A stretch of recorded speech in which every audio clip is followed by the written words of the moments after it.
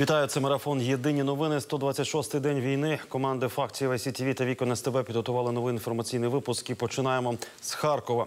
Чотири години тому росіяни обстріляли місто іскандерами. Пролунало два потужних вибухи. Спалахнула пожежа. Є поранені. Про це повідомила радниця голови облради Наталія Попова. Вдень ворог обстріляв циркуни передмістя Харкова. Дві людини загинули, одна зазнала поранень. Окупанти в день вдарили по індустріальному району обласного центру, влучили в підприємство. Шість людей поранено. Один з працівників у важкому стані повідомили в облвійській адміністрації.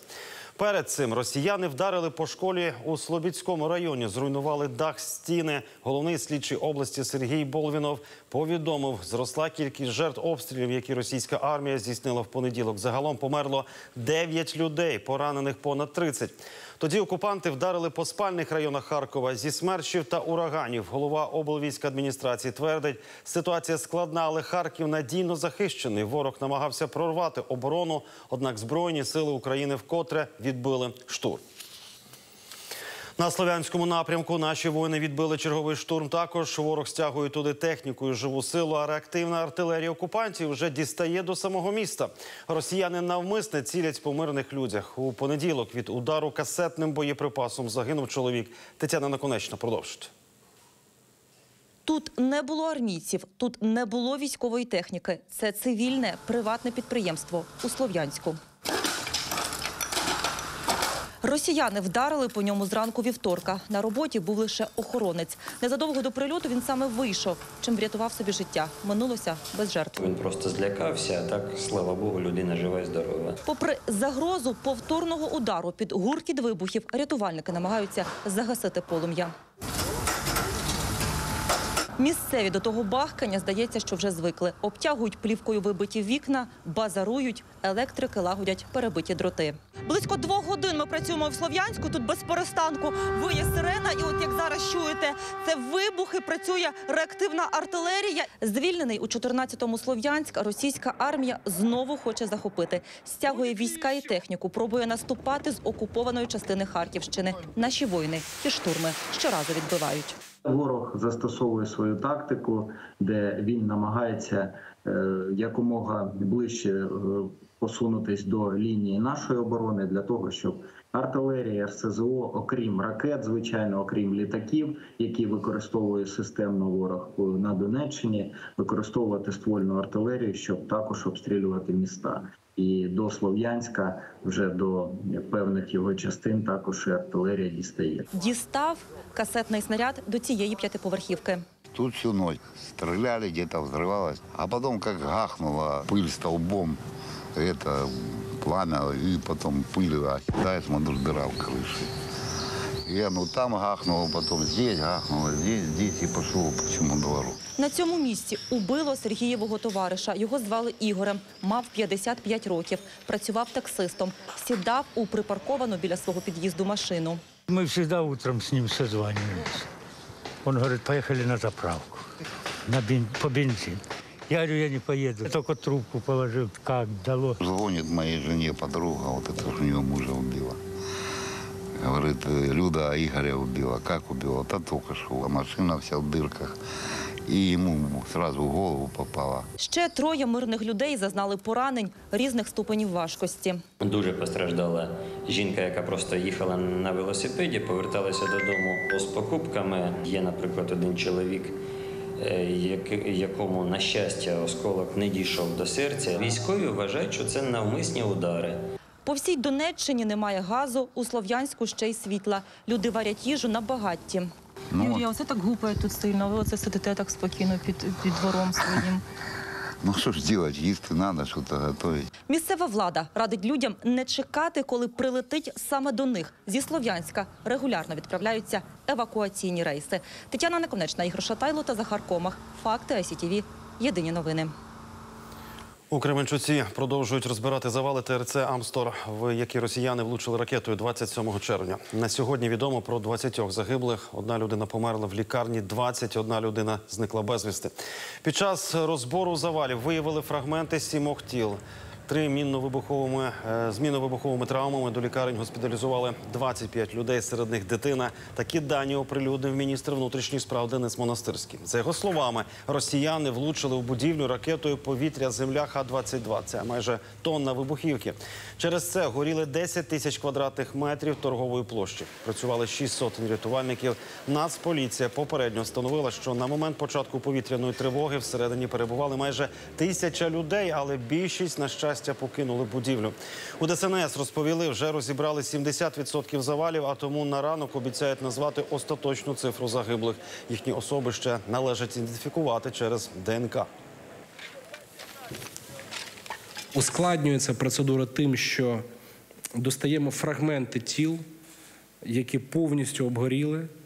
Е, З тих 18 осіб лише декілька ідентифіковані. Сьогодні приїхала спеціальна криміналістична лабораторія з Києва, яка буде працювати одна лабораторія в морзі, відбирати зразки ДНК, друга лабораторія в родичів в підрозділі е, поліції. Там якраз будуть відбуватися і порівнювати, і після цього ми можемо сказати точно, напевно, про ідентифікацію. Міністр додав, трагедія у Кременчуці викликала обурення світової спільноти. Про неї написали головні міжнародні видання. Денис Монастирський наголосив, що поряд ТРЦ Амстор немає жодного військового об'єкта, а тому назвав цей обстріл терактом та злочином проти людяності. Ми вже розуміємо, і аналітики Служби безпеки і Національної поліції встановили, з якого саме аеродрома, хто саме взлітав. Є вже перші імена, які аналізуються на предмет зльоту саме в цей день, саме в цей час. Е, Я переконаний, що ці особи будуть встановлені, і їм не буде місця на землі, де би їх не знайшло правосуддя. Шість ракет випустили окупанти напередодні по Дніпропетровській області. Чотири з них збили наші сили протиповітряної оборони. Російські війська влучили по Дніпру, ударили по промисловому та автотранспортним підприємствах. Є значні руйнування. Нині рятувальники розбирають завали в пошуках людей. Вибухова хвиля пошкодила оселю у приватному секторі. Не стихають обстріли в Криворізькому районі. Ворог накрив артилерійським вогнем тамтешню ТЕС і кілька територіальних громад. Одна людина дістала осколкове поранення. Христина Венгеля, ускайте далі. Це кадри з приватного подвір'я у Дніпрі. Вибухова хвиля від прильоту крилатої ракети буквально трощить вікна та двері. Надвечір росіяни випустили шість ракет по Дніпропетровщині. Чотири з них збили наші військові над Дніпром та над Синельниківським районом. Решта зруйнували залізничну інфраструктуру і промислове підприємство. Через обстріл поїзди з обласного центру вирушають із затримкою. Ракети морського базування «Калібр», які випустили з акваторії Чорного моря, завдали шкоди і цивільним. В одному з районів міста вибухова хвиля пошкодила домоволодіння та ринок. Ось такий прильот від руського міру. Одна ракета прилетіла у будівлю автотранспортного підприємства. Там на прилеглій території пошкоджено майже три з половиною десятки автомобілів. Частково зруйновані три бокси і ангар. Під ворожий обстріл потрапив і Синельниківський район. У Синельниківському районі через уламки збитої ракети на відкритій території сталася пожежа на загальній площі 1 гектар. Е, Загорання вже ліквідовано. Російські окупаційні війська вдарили і по території Криворізької ТЕС. Окрім ракетних обстрілів, день окупанти зі ствольної артилерії вкотре гатили по прикордонних із Херсонщиною населених пунктах. Є постраждалий, у нього осколкові поранення. Медики надали всю необхідну допомогу чоловікові. Наразі він знаходиться вдома. Е, Зеленодольськ також потрапив під обстріли. Там є руйнування дачних будинків. Ніхто там не постраждав. Ракетні атаки кажуть військові. Це відповідь росіян на перемоги наших військових на землі. На прикордонних територіях Дніпропетровщини ситуація повністю контрольована. Ворожих військ немає. Тим часом українські захисники поступово просуваються на Херсонському напрямку. Там є позитивні результати. Повідомили у Криворізькій районній військовій адміністрації. Христина Венгеля Оскайте, Денис Сінегін. Факти ICTV. Єдині новини. 2811 ракет випустила по Україні російська армія з початку великої війни. Про це у вечірньому зверненні розповів президент Володимир Зеленський. Щоб ніхто не зміг збрехати, що цих злочинів не було. Він показав відео, як ракета влучає у торговельні центри в Кременчуці. Росіяни навмисно цілилися у цивільний об'єкт у мирному місті. За цей і за всі інші злочини Росія відповість, каже президент України, і на полі бою, і через посилення санкцій обов'язково в трибуналі. Правоохоронні органи і розвідка України роблять все, щоб встановити усіх російських військових, які відповідальні за терор проти наших міст. Прізвища, обличчя і вся інформація про кожного з цих терористів будуть відомі світу. Вирок суду і тюрма. Ось це мінімум, на який вони заслуговують. Сім найрозвиненіших країн світу підтримуватимуть Україну, скільки буде потрібно, щоб вона могла захистити себе та забезпечити демократичне майбутнє. Також ці держави готові надати нашій країні гарантії безпеки в майбутньому, а санкції проти Росії посилять. Такі зобов'язання містить спільне комюніке, яке оприлюднили лідери G7 по завершенні дводенного саміту. Країни G7 продовжать підтримувати Україну стільки, скільки потрібно, надаючи необхідну фінансову, гуманітарну, військову та дипломатичну підтримку в її мужньому захисті суверенітету та територіальної цілісності. Про це йдеться у спільному комюніке, оприлюдненому учасниками саміту семи найрозвиненіших країн, який закінчився сьогодні в Німеччині.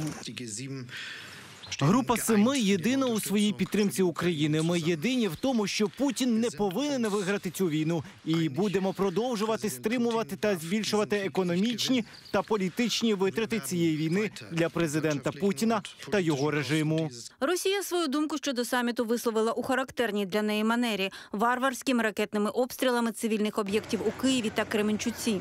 Лідери G7 шоковані та обурені масованими ракетними обстрілами останніх днів. Важливо, що світ не втратив уваги і сфокусований на тому, що відбувається в Україні. Ми повинні і будемо залишатися відданими, доки Україна та демократія не переможуть. Путін і винні в цих звірствах повинні бути притягнуті до відповідальності. Останнім часом Кремль дедалі активніше просуває свій наратив про те, що рішення щодо майбутнього України, начебто, ухвалюються не в Києві, а у столицях західних держав. Я думаю, що Путін і Кремль намагаються розширити конфлікт і переконати, що це щось між НАТО і Росією, але це зовсім не так. Йдеться про вторгнення в незалежну суверенну країну. Йдеться про те, що Захід і всі друзі України надають їй підтримку, необхідну для захисту. У фінальному документі саміту також йдеться про подальші санкції проти Росії. Зокрема, група семи планує запровадити ембарго на імпорт російського золота, а також підтвердила намір поступово припинити або заборонити імпорт російських вугілля та нафти. Підсумок наших дискусій дуже чіткий. Це не захід проти решти світу, а табір миру проти табору війни. Росія не може і не повинна перемогти. Тому так, наша підтримка України, наші санкції проти Росії триватимуть стільки, скільки буде необхідно, та з необхідною інтенсивністю. Також G7 закликали Китай вплинути на Росію, щоб та негайно припинила військову агресію і негайно та беззастережно вивела свої війська з України. А Росію застерегли від застосування в Україні хімічної, біологічної чи ядерної зброї або пов'язаних із нею речовин. Такі дії матимуть серйозні наслідки, наголосили учасники саміту. Оксана Лотоцька, факти ICTV, Єдині новини. Укрпошта на день конституції випустила третю за час широкомасштабного вторгнення тематичну марку. Вона називається Українська мрія і вийшла тиражем 3 мільйони. За основу взяли картину 11-річної Софійки Кравчук з Волині. Дівчинка намалювала легендарний український літак на конкурс до Дня Незалежності. А сьогодні ще першою зробила спецпогашення і написала свою мрію на банері. Комплект із двох блоків, п'ять конверсів і п'ять листівок коштує 240 гривень. Один аркуш марок це 72 гривні. Воєнні марки зробили в Україні та світі справжній ажіотаж. Перша марка з цієї серії з побажанням російському кораблеві вийшла 12 квітня тиражем 1 мільйон. Нині на ринку ціна аркуша, за словами колекціонерів, сягає 26 тисяч. Аби купити нинішню новинку, люди займали чергу від п'ятої ранку. Їх заносили до списків, аби у приміщенні головпоштамту не було тисняви. Очільник Укрпошти Ігор Смілянський вірить, що марка буде вкрай популярна, адже вона вперше позитив. Наприклад, ця марка це 12 гривень за марку 3 мільйона е, примірників. Кожна гривня наближає перемогу, щоб цієї фігні не було. Бачите, штемпель Херсон. От ми його обов'язково залишимо так, щоб по всій Україні е, люди отримували позитивні емоції. А чим більше позитивних емоцій в нас буде, тим швидше ми переможемо. Дівчинка Марія, е, Марія, вона мріє про мрію. Е, Літак мрію. Супер. А про що ти мрієш? Розкажи нам. Щоб війна закінчилась.